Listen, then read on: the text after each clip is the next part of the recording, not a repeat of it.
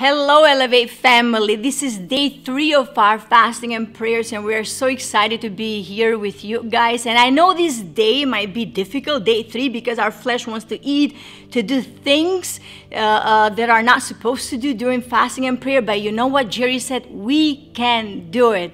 Today we are going to talk about fading forward. And the scripture that I've chosen is Second Corinthians chapter 4 from verse 8 to 9. So let's open the Bibles together.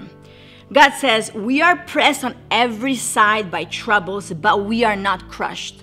We are perplexed, but not driven to despair.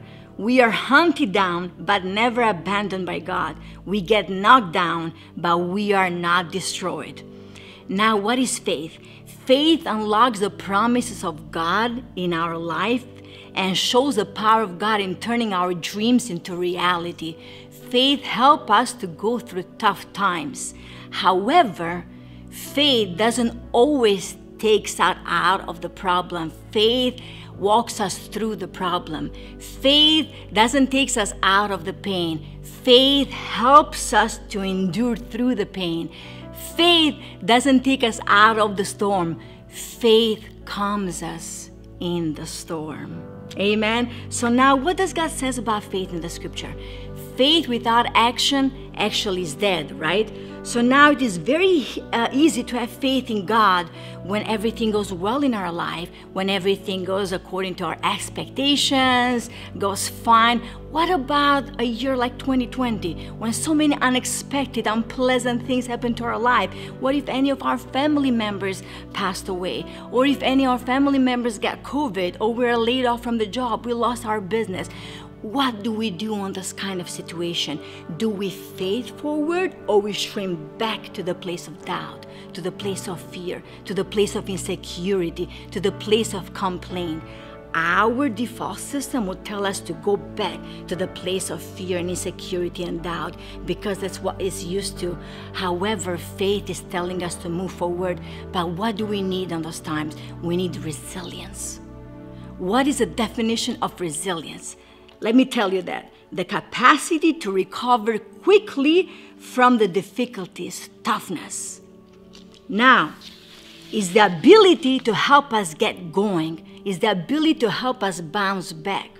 I want to remind you something that nobody goes in life without failures, without mistakes, without pains.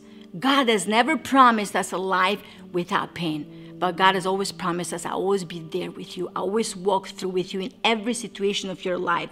We all have pains in life and we all have difficult situation in life, but only those people makes it have resilience in themselves. And you know how many times I wanted to give up in my life and I said, God, I can't do this. This is too much for me. This is too big for me. But God always kept saying to me, keep going, Eriona. Keep going, Eriona. Where do we get the resilience in different situation in life that is happening?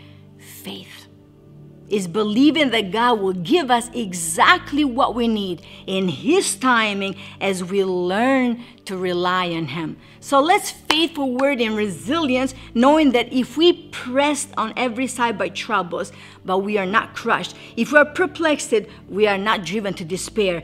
If we are hunted down, we are never abandoned by God. If we get knocked down, we are always, always not destroyed. And you know why? You know why? It's because if God is for us, who can be against us? And God never leaves us, God never forsakes us. And His word never goes back to Him without achieving the purpose that He sent it in our lives. So let's faith forward. Love you all, and I'll see you soon.